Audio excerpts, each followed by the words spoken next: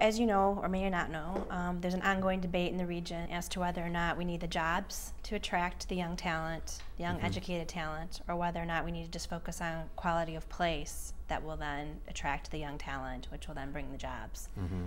Where do you stand on that debate? I, I am 100%.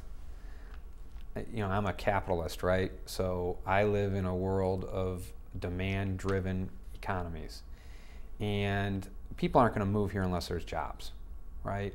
People aren't going to stay here unless there's jobs, unless there are jobs that pay a decent wage, that are intellectually stimulating.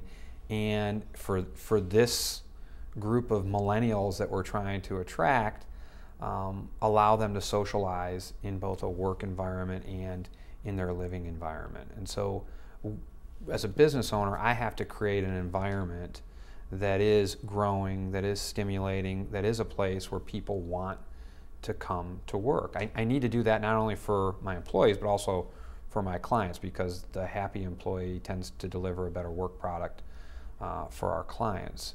I think that if we're able to create demand, i.e., demand for talent, jobs, then the folks who want to, to work here are the kind of people that will want to live here too.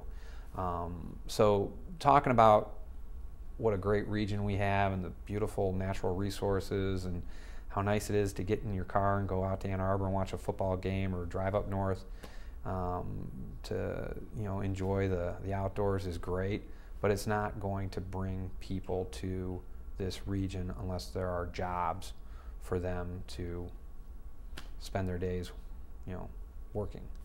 Um, so, so I'm a big believer that you got to have the jobs first, and, and we should be incentivizing job creation, um, not the other way around. What's our top barrier to being able to do that?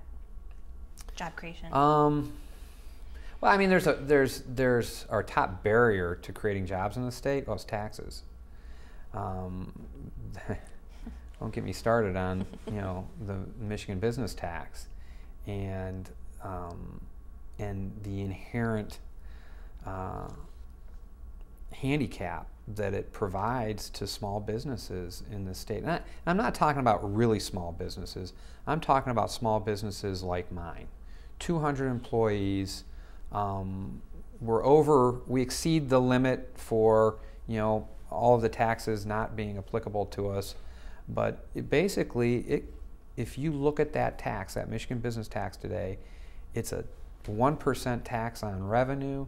It's a nearly 5% tax on profit, and there's a 20% surcharge layered on top of it. So for a company that produces a 20% profit margin, it's essentially a 10% tax on profits. There isn't another state in the union that charges taxes like that.